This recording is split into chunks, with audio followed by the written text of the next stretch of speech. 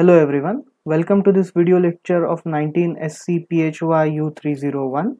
We have been discussing the first chapter, complex numbers, and this is the story so far. Quadratic equations are equations of this form ax square plus bx plus c is equal to 0. So they are the polynomials of second degree. a, b, c are called as coefficients of the quadratic equation values of x for which this equation is satisfied or the left hand side is equal to 0 which is the right hand side then those values of x are called as the roots of quadratic equation and roots of quadratic equation can be calculated by using this formula x is equal to minus b plus or minus square root of b square minus 4ac divided by 2a with plus sign we get first root and with negative sign we get the second root for the quadratic equation. They're important for complex numbers because when the term inside the square root when this term is less than 0 then we have to use the concept of complex numbers to write down the roots. We also saw that if a, b, c the coefficients of quadratic equations are real numbers then roots of the quadratic equations are either real or if they are complex roots then the two roots are complex conjugate of each other. Then we considered a few definitions. Suppose z is equal to x plus iy is the complex number. Then real part of this complex number z is equal to x and imaginary part of the complex number is equal to y. Keep in mind that both real and imaginary parts of complex numbers are real numbers. The imaginary part is called imaginary because of multiplication of i to that imaginary part. Then we define complex conjugate for a complex number z is equal to x plus iy. Its complex conjugate z star is equal to x minus iy. It is obtained by reversing the sign of the imaginary part we also define two more terms modulus of complex number and argument of the complex number. Modulus of complex number is given by this equation. It is denoted by z mod is equal to square root of x square plus y square. You should always keep in mind that modulus is always a real positive number. Argument of complex number argument of z is obtained by tan inverse of y by x. Now for this lecture, this is the plan. We will first briefly discuss what are dimensions of a given system. We will discuss that specifically in reference with these two terms. One real numbers are one dimensional whereas complex numbers are two dimensional. Then we'll see a way to plot a complex number in a plane. That plane is called as Argand diagram we had postponed the interpretation of these three definitions in the last lecture. We will revisit these definitions and interpret their meanings from geometrical point of view. With the new interpretation, the rules that we have considered for finding out the argument of complex number would start making sense. Let us ask ourselves this question. What are the dimensions of a given system? We will give the simplest possible answer for that question Number of parameters that are to be given to express the system fully are called as the dimensions of that system and therefore when we consider object which has height, width and depth it becomes a three-dimensional object. If we consider surface of the earth it is now of two dimension or in fact that is the case for any surface whether it is plane surface or whether it is a curved surface for earth surface, we can give the latitude and longitude and that way we can specify any position on the earth. Now real number is clearly a one-dimensional system. And since it is one-dimensional, it can be now plotted on a one-dimensional figure which is a straight line. The simplest possible one-dimensional figure is a st straight line. How do we do it? We first define an origin.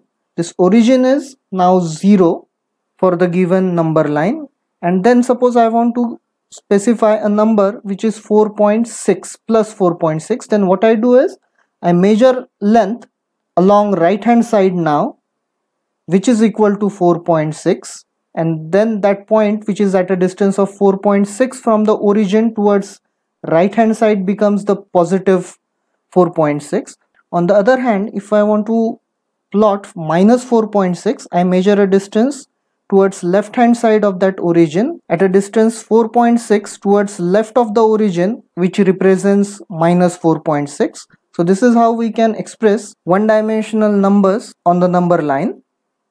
Now if we consider complex numbers they are clearly two dimensional you can see that when you write the generic form of a complex number z is equal to x plus iy to express any complex number you have to specify the real part of that complex number and you have to specify the imaginary part of that complex number. And once these two real numbers are expressed the complex number z is fully expressed and therefore complex numbers are two dimensional what we need to plot a complex number now is a plane because the numbers are two dimensional two dimensional we will need a figure which is also two dimensional and simplest two dimensional figure can be a plane. That plane in which a complex number is plotted is called as the Argand diagram.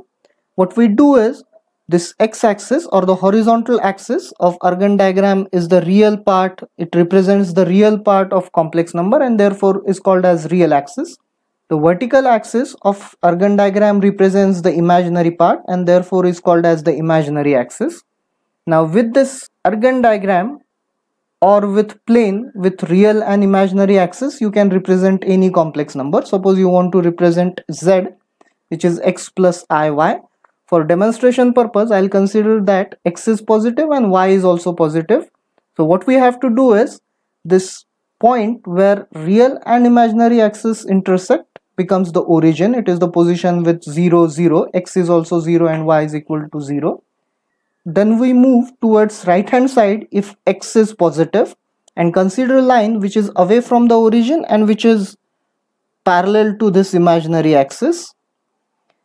Then we move upward on this imaginary axis at a distance which is equal to y and draw another line which is now parallel to real axis.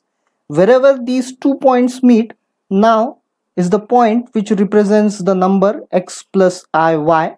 The rules for plotting a complex number in the plane are very similar to that of rules in number line. If x is positive, we move towards right hand side of real axis. If x is negative, we then move towards left hand side of this origin. If y is positive, then we move upward along imaginary axis and if it is negative, then move then we move in downward direction. And in this way, we can plot any number, any complex number in this Argand plane. Now, note that a real number is always a special case of complex number. For real numbers, all these imaginary parts are zeros. Therefore, all the real numbers lie on this real axis of in Argand plane. Complex numbers are similar to two-dimensional vectors. A two-dimensional vector v can be written like this vxi plus vyj where vx and vy are called as x and y components of the vector respectively and i and j are the unit vectors i along x-axis positive x-axis and j is a unit vector along positive y-axis and a vector v then is geometrically represented like this. An arrow starting from the origin. The x component of this arrow is given by vx and y component is given by vy. In this case this is the x-axis and this is the y-axis this point is the origin where x and y-axis meet and that is 0 0 vector or a zero vector with x component equal to 0 and y equal to y component equal to 0 when it comes to Argand diagram instead of calling them as x-axis and y-axis we call them as real and imaginary axis.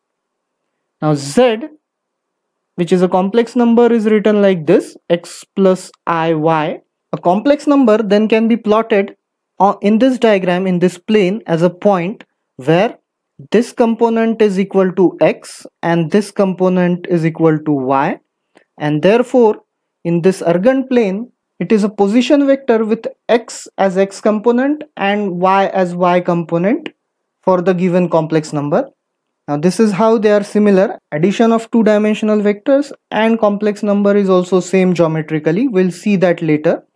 Now let's consider a few examples of complex number. Let's let's consider example from each quadrant. Let's say z1 is equal to 1 plus 2i. I want to plot this complex number in the Argand plane.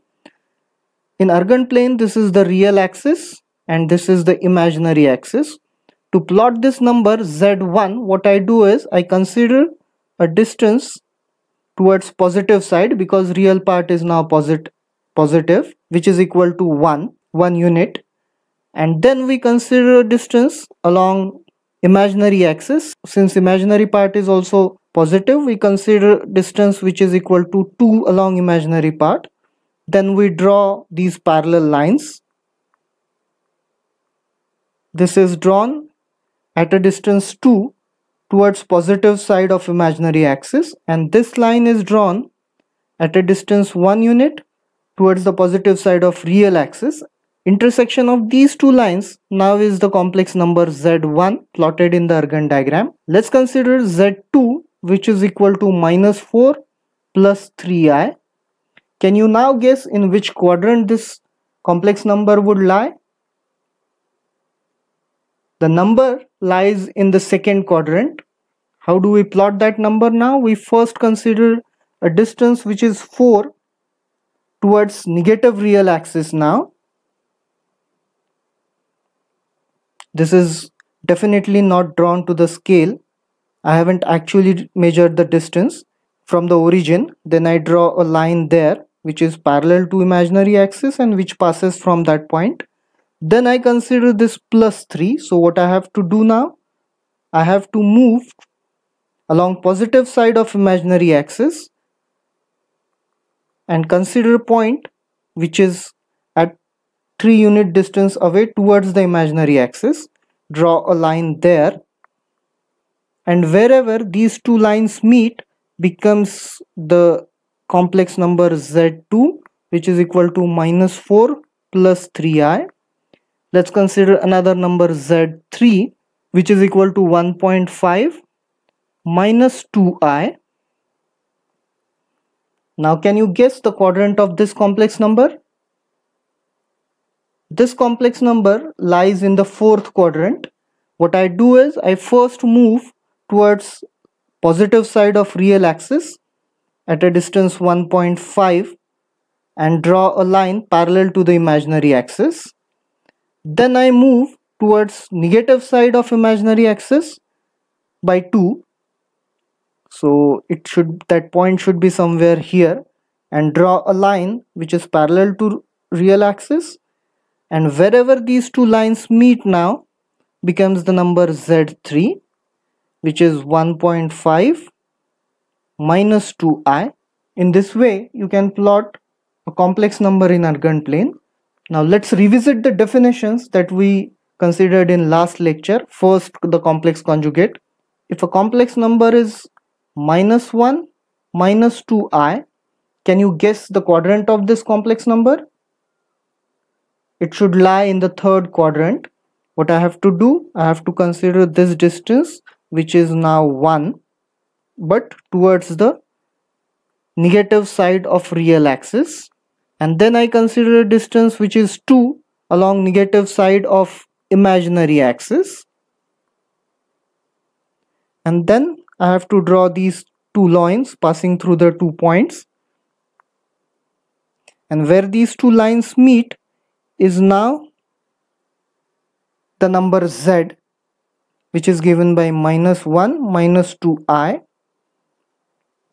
now complex conjugate of this number z star is given by minus 1 plus 2i. I reverse the sign of imaginary part and that gives me the complex conjugate. Now let me draw these lines. I can say that this is position vector for complex number z. Now where will z star be? What, what is going to be the quadrant of that? It is in second quadrant now. I have to consider a distance minus 1 towards negative side of real axis so this line is going to be same for that which I have drawn for z the difference is in the imaginary part in case of z I move towards negative side of imaginary part but in this case now I have to move in the opposite direction if z had positive imaginary part for finding out the complex conjugate I would have to move towards the negative side of that. And then I draw a line parallel to real axis at that distance. In this case it is going to be 2 units. And then this point is z star now. So if this is z let me erase this. So if this is z then this is z star and this is the position vector which represents z star. So if you think about it a complex number and its complex conjugate they are mirror images about this real axis. If I consider a number which is at this point then it's com if this this was my z prime which is the complex number then its complex conjugate z prime star would be a mirror image of z prime about real axis and that is true in general. You can convince yourself for that. Now let's consider the next definition modulus. Suppose my complex number z is equal to x plus iy i am writing the complex number in the generic form? For demonstration purpose, I'll consider that x and y are both positive and therefore the complex number lies in the first quadrant of Argand plane. So this is the real axis and this is the imaginary axis. Suppose z is this point. That means this distance is equal to x and this distance is equal to y let me join the origin and the point which represents the complex number x plus iy. Now you can see that a right angle triangle has been formed with xy and this is the diagonal of that right angle triangle. Let me call that as r. Now you can use Pythagoras theorem and write a relation sorry and write a relation between x, y and r. What is going to be that relation? r square is equal to x square plus y square. So r is equal to square root of x square plus y square. Have you seen this right hand side before in this course? It is nothing but mod z or modulus of z which is equal to square root of x square plus y square so this way we have a geometrical interpretation for modulus and we have at the same time the reason why it is called as the absolute value. Why it is called as absolute value? Because it gives us the distance between the point which represents the complex number and the origin and that is absolute value. Now since it is a distance, it has to be positive and it has to be real which we can see here. Geometrically modulus is a distance of point representing the complex number from the origin and therefore it has to be real and positive. Let's consider four examples, one from each of the quadrant. Z1 is equal to 1 plus 2i. What is the quadrant? It is now the first quadrant. Z2 is 1 minus 2i. Now this number lies in the fourth quadrant. Z3 which is minus 2 plus i what is quadrant now it is in second quadrant and z4 which is say minus 1 minus 2i so we have these four numbers four complex numbers. Let's try to plot these complex numbers in the Argand plane and then we will find out the modulus or absolute value of each of the complex numbers. Now let's first plot z1 as I said it is in the first quadrant. I have to consider this distance which is equal to 1 and this distance along positive side of imaginary axis which is roughly double of real part. So the complex number will be here and this right angle triangle is formed. Now mod z1 is equal to square root of this distance is 2 remember it's square root of 1 square plus 2 square. So it is square root of 5 I am leaving it to the viewers to find the decimal representation of square root of 5 I'll write it square root of 5 now. So mod z1 is square root of 5 then z2 what is the quadrant? It is now the fourth quadrant. So the number is somewhere here. Since now you can see z1 and z2 they're complex conjugate of each other and we expect that z2 is mirror image of z1 about this real axis. This is real and this is imaginary axis. So this number is going to be at this point where its base is 1 and this height is equal to 2 and therefore mod z2 now is going to be equal to same as mod z1 which is square root of 5 let's consider z3 now. Z3 is in second quadrant. So minus 2 I have to move towards negative real axis at a by a distance of minus 2 and then move towards positive side of the imaginary axis by unit distance and this is going to be the complex number z3 now mod z3 is again same as square root of 5 you can convince yourself that. This is the line which joins the origin and the complex number. Now let's come to z4 z3 and z4 now are complex conjugate of each other and therefore z4 is going to be here mirror image of z3 about this real axis.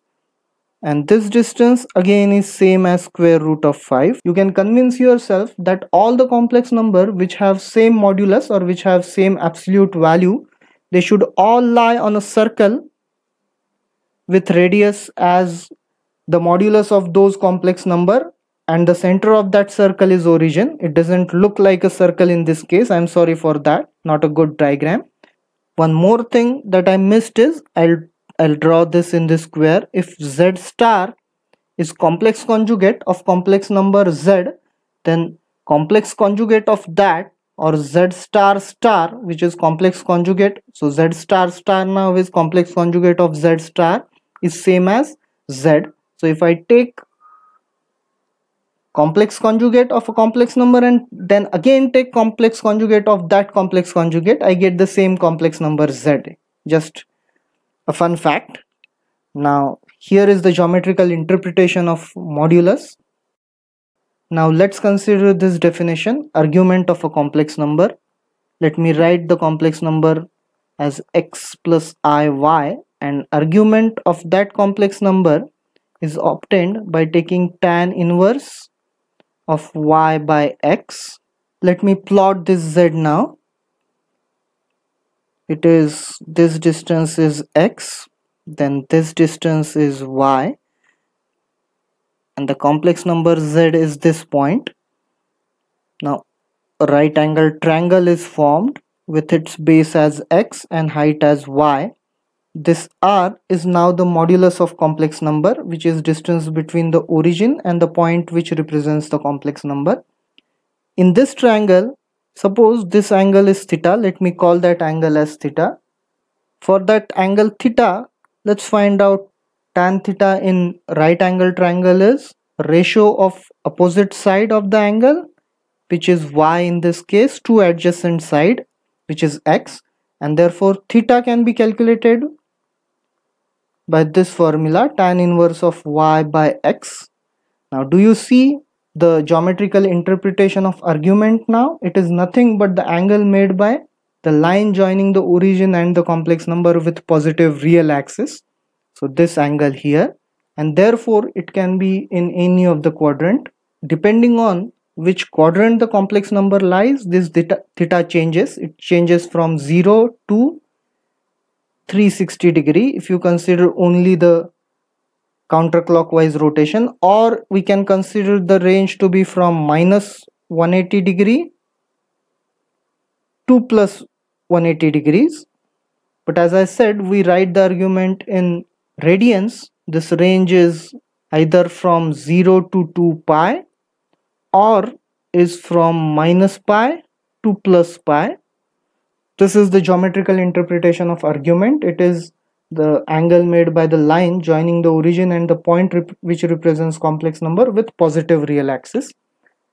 Let's consider a few examples. Let's consider z which is in first quadrant. So its real part is positive and its complex part is also positive let's first plot the point square root of 3 is 1.73 z is going to be somewhere here where this distance is 1.7 roughly and this distance is equal to 1 this is x and this is y.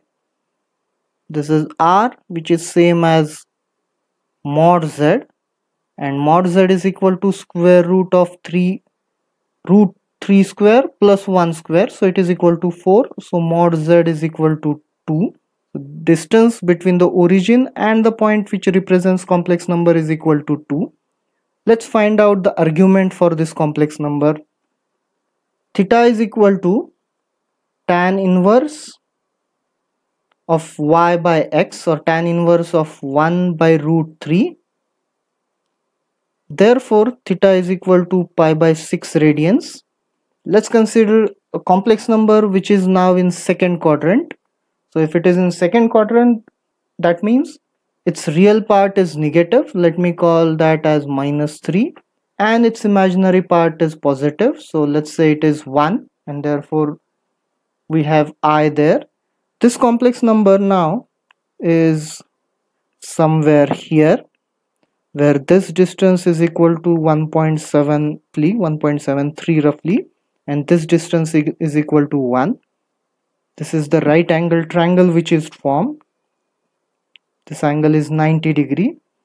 R or mod z or the distance between the origin and that point is square root of root 3 square or minus root 3 square which is 3 plus 1 so it is same as the previous problem. It is 2 let me call that angle as phi and tan phi is equal to 1 by root 3 now. Phi therefore is equal to pi by 6 radians. Is this phi the argument of the complex number?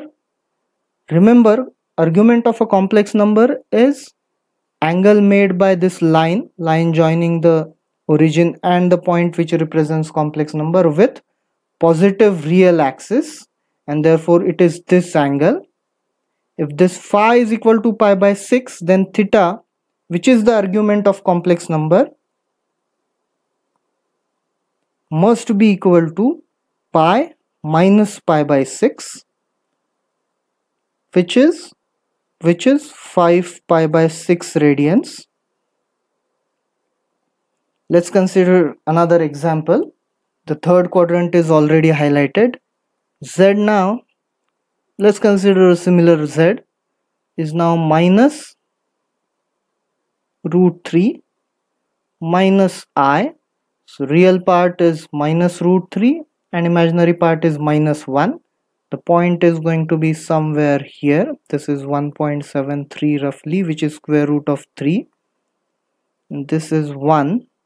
If I join these two points, the point which represents the complex number and the origin, then length of this line is mod z which you can see is going to be equal to 2 let's calculate this angle phi. Phi since this is right angle triangle phi is tan inverse of 1 by root 3 which is equal to pi by 6 radians. Now is phi the argument of the complex number? No. The argument of the complex number is angle made by this line with positive real axis. For this angle can be now represented in two ways. I can either choose to represent it like this. So I am rotating this real positive axis clockwise to reach this line and therefore the angle will now this angle now will be negative.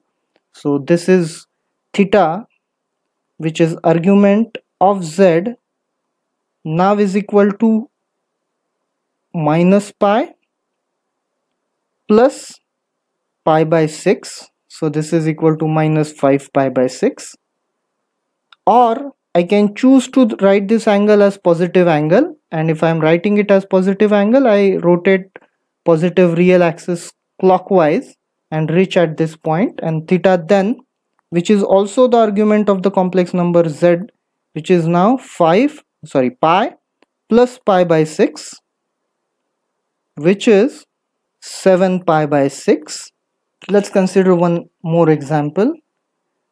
Many of you have already guessed that this complex number is going to be plus square root of 3 minus i which is in fourth quadrant and this distance is equal to 1.73 which is square root of 3 this distance is equal to 1 and I get this right angle triangle for this particular complex number. R is going to be same which is mod z which is going to be equal to 2 let's find out this angle phi now.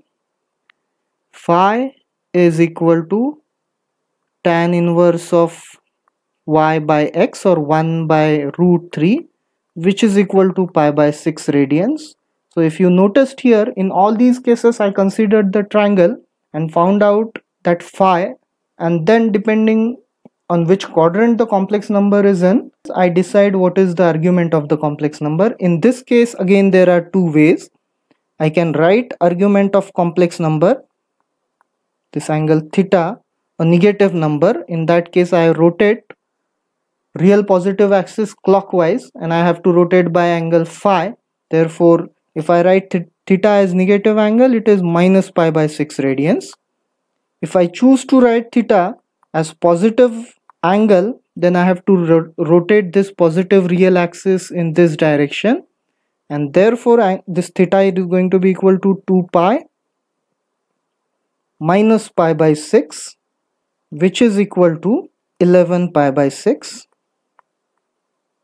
this is how you can calculate the modulus. This is how I recommend it. You find out the triangle find out this angle phi and then depending on in which quadrant the complex number is you can decide what is the argument as we have done in the examples. That's all for today's lecture. This is the summary. We first saw that complex number is two dimension because it needs two numbers to represent completely. You have to give the real part and then you have to give the imaginary part of the complex number and hence it is two dimensional now since the number is two dimensional you need a two dimensional figure. The simplest two dimensional figure is planes. We call that plane as the Argand plane in which the x-axis is now the real axis and the vertical axis or y-axis is the imaginary axis. And then we revisited the three definitions. The important part is the next two definitions modulus of the complex number or absolute value of the complex number which is now length. It is length of line joining the origin and the point which, re which represents the complex number. Argument is the angle between the line which joins the origin and the point which represents complex number and positive real axis. It is very important that you understand all these concepts in this lecture I said that for previous lecture also and I'm going to say that for next couple of lectures as well. It is necessary because these concepts form the foundation of complex numbers and unless and until you understand these concepts, it will be difficult to understand the functions and different representations that we are going to consider for the complex numbers. And that's it for today's lecture. Thank you for watching this video.